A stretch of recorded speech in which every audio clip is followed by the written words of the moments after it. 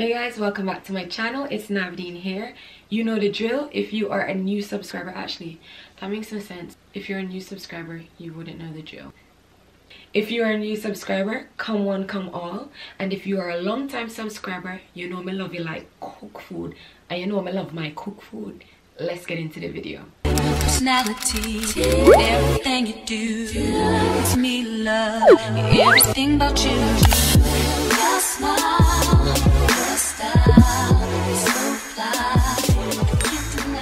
If you've seen from the title of the video, I'm just decluttering yet a few more perfumes from my collection. Hopefully this is the last declutter of the year. I feel like over last year I was actually getting to learn my scent taste or whatever whereas now I actually am buying perfumes that I really really really like instead of just something that mm, that seems like it's nice just buying it and a lot of perfumes were blind buys during COVID so anyways so the first one that I'm gonna declutter is MAC's Turquatic and honestly this perfume smells nice but I've had it for a year now. Well or maybe over a year. Sorry spraying a piece of paper to smell it. And I haven't worn it so I just think if I'm not wearing it it's nice and fresh. See that's the problem with decluttering. You always smell something that you think actually do I want to give this away? Um but I do like it. It's fresh it's aquatic and it's not too citrusy. I don't like that super zesty smell in my perfumes. I don't like anything lemon potent or orange potent. I just don't find myself reaching for it. I have realized that I'm really a sweet girl. I mean but I'm a sweet perfume lover. Like no matter how I try to stray away from it and I'm like oh I'm gonna get things that are unique or I'm gonna get things that not everybody has or whatever. Yeah no I stick to the crowd pleasers. And this perfume just doesn't do anything for me so I find myself reaching for my Eros EDT Versace Eros EDT during the summer because it's citrusy but it has raspberry in there. So I love fruity perfumes and I love the twist on that one and I get compliments from that this one I just haven't reached for it it could also be because I have so many perfumes so I don't gravitate to obviously the ones that I like the least I would say if you are someone that don't really love sweet perfumes this is a really nice fresh everyday on the go perfume to wear I do think it's unisex. A guy can wear it, a woman can wear it. But yeah, it's just because I grab for it the least. And I love the bottle. I think honestly, that's what made me keep it. And I only got it in a 20 mil. It doesn't excite me. And it irritates me to have perfumes in my collection that I'm not using. I just feel like it's a clutter. I'd rather have a cabinet full of perfumes that I look at and love and can't wait to wear all of them. So that's the only reason why I'm decluttering this the next perfume that's up is Shiseido Zen. I really do like this perfume as well, but as you can see, put that cap back on. But as you can see, it's hardly used. Hardly used and I've had this also over a year. And it's a shame.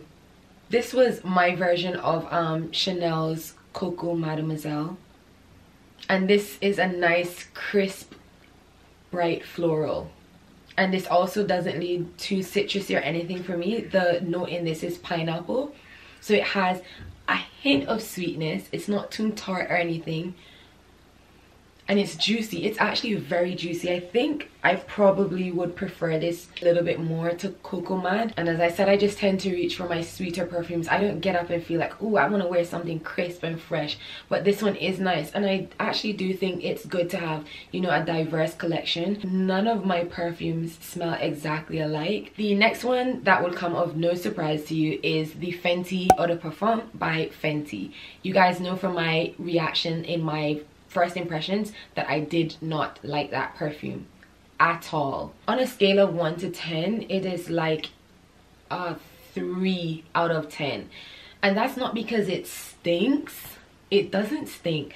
But you know what, to be honest, I would much prefer it stunk than it to actually do nothing. I know that sounds weird, but it does not really lean one way or the other. It's as though they had a vision and they put everything into one perfume. It wasn't very green, it wasn't very sweet, it wasn't gourmand, it wasn't anything that you can put into a category which now that i'm saying that out loud actually sounds like a genius thing that it could kind of cover every aspect of a perfume because i think a lot of people pick up woody as well it's also spicy for some people it's also sweet it's also airy it's also citrusy it's also musky like it sounds like everything. I actually from the bottle thought that it would smell something similar to Kayali's invite only amber and that's just judging it by the bottle which is silly of course. You can't think that a perfume would smell a certain way just by how the bottle looks but you know how human brains think. We hope it smells similar to whatever vibe the bottle is giving off. But the fenty perfume smells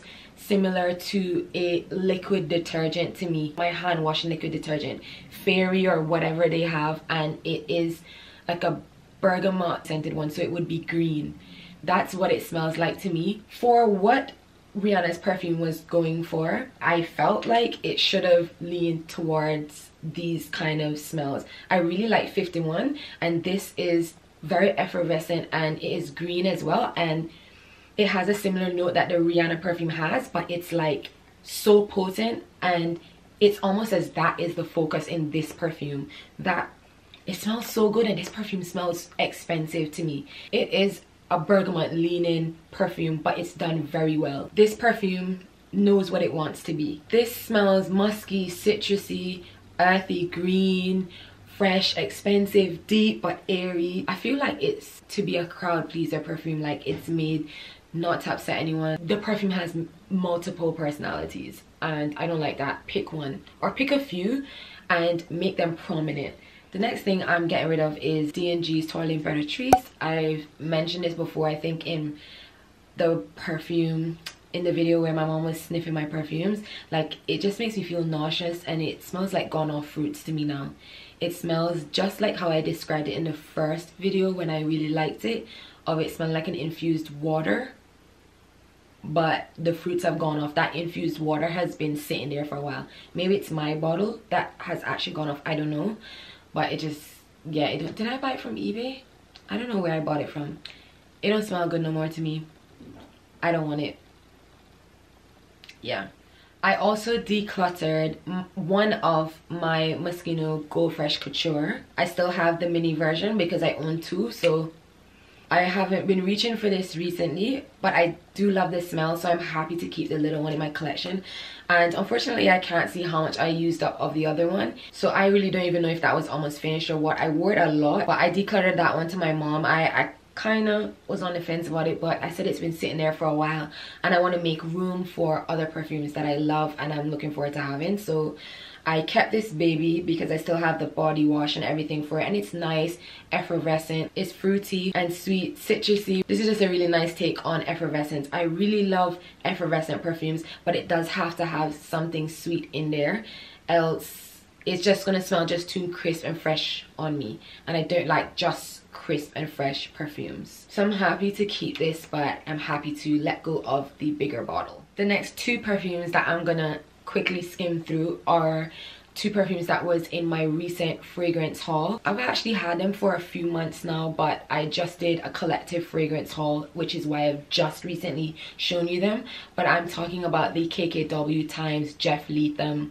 collab and I got rid of Jasmine Air and Desert Rose and I kept Night Iris. So I got rid of those both because one of them smelled similar to Alien to me, not as expensive or not as quality i guess that's saying the same thing but it did kind of remind me of alien and i don't like alien so i got rid of that one it was very effervescent and i guess it would be nice for those who like alien but if you like alien you just get alien right? Why would you get that one?